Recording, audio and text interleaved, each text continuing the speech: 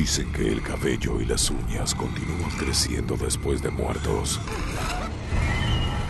Y en algunos casos, también el odio.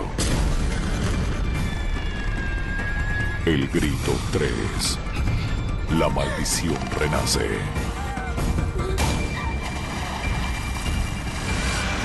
Este miércoles por Space.